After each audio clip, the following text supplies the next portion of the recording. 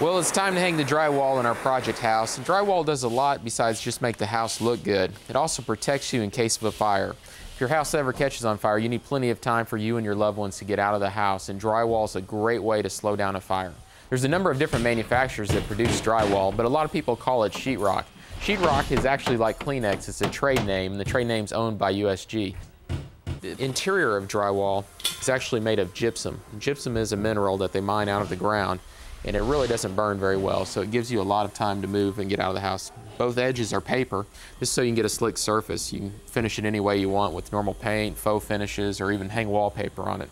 Half inch thick is normally what you find in most homes on the walls and on the ceilings. Though on the ceilings, you normally have a little bit stronger piece because they're not nailed every 18 inches. They're normally two feet on your ceiling structure. Out around your garage, you're gonna find a little bit different type of drywall. This is actually known as X-rated drywall. Now, X-rated drywall is not the same as X-rated movies. It's a little different. What it does is it slows down a fire. When they test this, when they put this drywall onto studs on a house and try to burn through it, it's going to take one hour to penetrate through there. So if you have a fire starting in a different part of the house, it's going to take a while before it gets to you. And around your garage is probably the most common area to start a fire because you have gasoline out there in lawnmowers and in automobiles. A lot of times you have water heaters out there.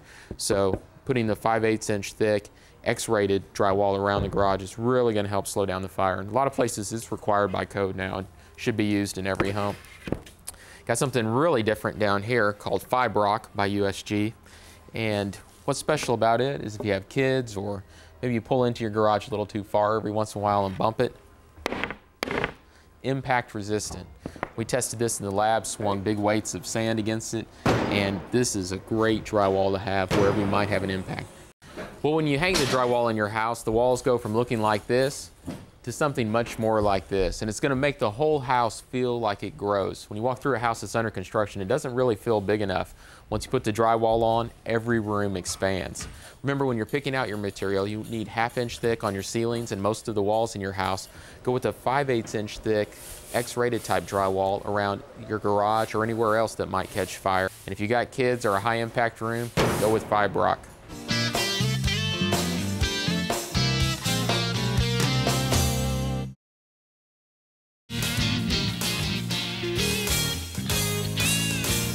After our drywall is hung, it's time to tape and bed the drywall.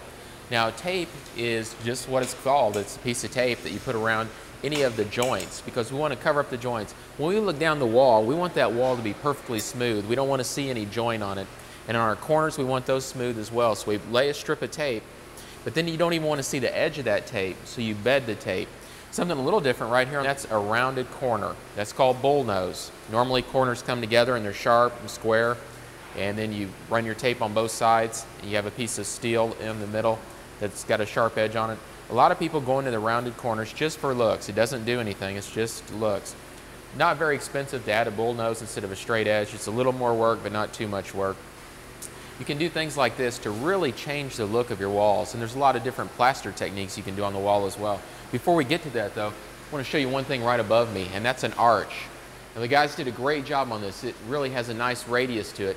But that is hard to build. Your framer's got to do something special. They've got to frame that in in that shape. Then your drywall guys have got a hard material. Drywall is like little bits of rock actually ground up, made into a solid surface. So to get that round shape, they've actually got to lay out a piece of drywall and slice it along the back in a number of places and then actually bend it. And you can't bend a solid sheet. That's why they put the cuts in it to allow it to expand and they've got to form it up there. And then the tape and bed guys got to be good enough to go ahead and fill that in where you don't see a bunch of little lines where it was bent. Now, even when you do a great tape and bed job and go for smooth walls, occasionally you can see some imperfections. So most people put texture on the walls. Now this is called orange peel that the guys are putting up now. It's by far and away the most common and most popular. And it does look like the peeling of an orange, except of course it's not orange. You can paint it any color that you like once it's dry. And the best thing about it is it is going to hide any imperfections in the wall so you're not going to see joints. Besides orange peel, you can do other things. This one is called skip trowel. And you don't blow the texture on there. What you actually do is you pick up texture with your trowel and just rub it over. And it almost looks like icing on top of a cake. And you can see a lot of little indentations in it. You can see our lines like I'm talking about as far as icing goes. Someone ran their fingers through this while it was wet. That's not supposed to be there, but the rest of it is called skip trowel. It's more expensive because there is more handwork to it, but it does give you a different look. Maybe something in a library or a formal room of the house. Here we've got one that's not very expensive, but has a real nice look to it. And this is called a knockdown or drag down texture. They spray it on just like they do the orange peel, but then they run their trowel over the top of it and just knock the top edges off of it and pull them together a little bit. This one had paint and glaze put over the top of it to give it that reflective look. Really nice, not very expensive to do. The paint technique is, but not the texture itself. Once again, knockdown. Here's more of a faux finish look. This is sort of a combination spray it on there, put some on their trowel both, rub it across, and get a real different look. Again, a lot of paint work went into this. You can just paint it one color, but if you paint it and glaze it, it really looks sharp. Here we did some stuff with no texture whatsoever. We're going to be doing a little bit of this in different rooms in the house. This is just plaster. And we actually went up and put the plaster on. And on these samples that the guys did, if you can get right next to it, you can see how smooth it is. It almost looks like glass. There is not a big buildup. You've got to do a really good tape and bed job because we don't want to see any imperfections on this because we're keeping the coating so thin. And even though it's thin and smooth, you can see every single line from the trowel in here. Really, really nice effect, but very, very expensive. I mean, we're talking a lot of handwork and doing excellent job all the way through. Here they put tape around the edge they put their plaster on, did again a smooth finish like we had on our brown piece there, but they went ahead and pulled the tape, so we had a border all the way around it. If you do something like this or attempt something like this, you've got to pull the tape while the plaster's still wet. If you wait till it dries and you pull the tape, you're going to end up with cracks and rough edges all the way around.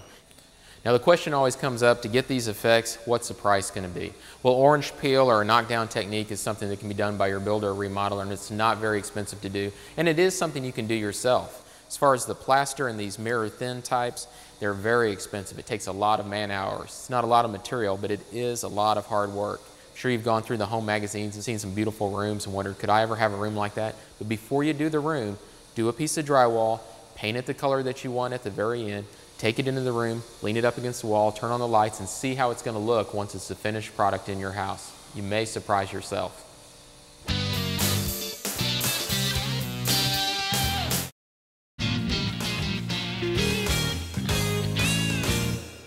Well, our project house is finally taking shape. We're not at the end yet, but we're getting close. There's still a lot of work going on, but now's the time that we can walk through the house and see what all those details meant back when we were doing the foundation pour and framing the house and putting up the drywall and the molding.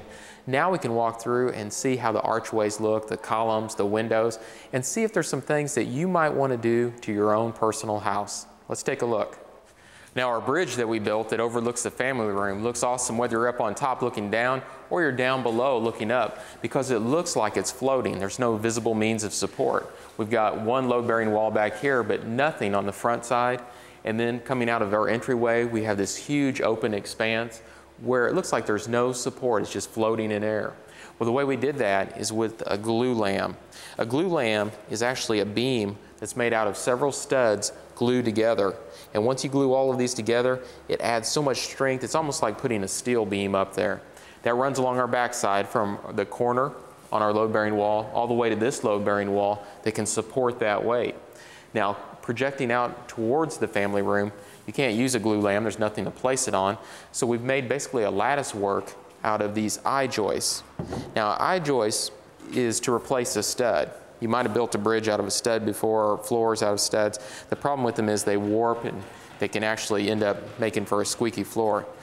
With an I-joist, they're not going to warp with moisture or humidity changes because it's three different materials glued together. On this one, we've got several layers on the top of our I-joist glued together, several layers on the bottom of our I-joist, and in the middle, we have this oriented strand board, OSB. It's pieces of wood actually glued together and it forms the shape of an eye, and that's why it's called an I-joist. When we have a humidity change, this is not going to flex back and forth between these three different pieces. So it's going to be good, straight, strong, no squeaks. It can hold a lot of weight, so we use our beam in the back, our glulam, and then we used our I-joist projecting out. So now we have a floating bridge. Now part of the architecture design that really sets this house off are our columns and our archways that we built here between our kitchen and breakfast nook and the family room. Now it looks like a lot of work went into it and it really did. It is a lot of work. But it started with just columns and a flat level ceiling coming out of our kitchen and nook. We put a glulam in all the way across, just like we did on our floating bridge. But here we did it to hold up the second floor. Our columns are plaster and really look nice, but they don't support the weight of that second floor. Inside the columns, we really have steel posts that run from the floor straight up, and they support the glulam itself. Then we just put the plaster columns around those pieces of steel. Now the archways were something the interior designer wanted to add after we had already built this structure. We came in afterwards and just framed in with extra material the archways themselves. They don't support the weight up top. It's that glulam that's in there plus the steel that's inside of these columns that does all of the work. As you can see, it really looks sharp. Let's take a look at these windows. Now one of the really dramatic parts of this family room are these windows. Four feet wide, 18 feet tall. We're gonna let a lot of light in with these three windows, but we had to plan ahead because there's a lot of factors to take into effect to make sure that they're installed properly and we're not gonna have a problem in the future. Number one being the glass. This is some big panes of glass. We couldn't use normal glass. We were fortunate enough that Cardinal Glass worked with Andersen Windows to design a pane that's thicker, but it also has a little bit of flex to it because we are gonna be hit with a lot of wind on a window this large, and we need the window to be able to move just a little bit and not crack on us. We also had to do some things with the wall because we're giving up a lot of places where we would have studs. I always recommend that you go with a 2 by 6 for an exterior wall. 2 by 6 is 5.5 inches thick, and that's normally more than enough. The problem is every 16 inches you should have a stud. We've got 4 feet here with no studs whatsoever. So we had to beef up to a 2 by 10. I'll put it here against the jamb and you can see much, much thicker. But we needed this extra wood to support all that weight above. We've got a concrete roof on top of this. We can't hold it up with the glass itself. We've got to put the studs in that are strong enough to hold that roof up. Now we did something really special in the master bedroom. Let's go take a look. Now in our bedroom, what we were after was big. We wanted a really big bedroom with its own unique feel. We did part of that with the ceiling. We used I-joists to go ahead and span this big open area so we didn't have a lot of support walls. We also changed up the ceiling finish as well. We've got a big square in here that we popped in, plus a triangle on each side to give it its own unique feel. We did something different over here because there's no second floor above us on this side, so we put in a plaster dome. It looks really nice, it wasn't hard. We had to add just a little bit of wood to brace up for it, but since there's nothing above us, we didn't have to change the roof line or mess with anything like that. One last unique thing that I really like to do in houses is put in a see-through fireplace between the bedroom and the bathroom. It looks great from both rooms. Well, as you can tell, our project house is a big house and we have a lot of open areas. We have a second floor with extra bedrooms, plus we've got a game room and a study. There's a few things you need to consider when you have a house that's very open, and that's the heating and air conditioning. You don't want to pay to heat and cool this whole house to the exact same temperature, and you can't do it to the exact same temperature with these open areas unless you zone the house. Zoning is not very expensive to do. You have separate dampeners and separate controls and sensors in each room of the house. Even though you might only have one or two units, you have different temperatures working throughout the house to make sure that it's comfortable and those utility bills are low. Now, I showed you a lot of stuff today, but some of this stuff you can do in your own house if you're building a new home or remodeling your existing home. Remember, it's those little details that really set off the look of the home.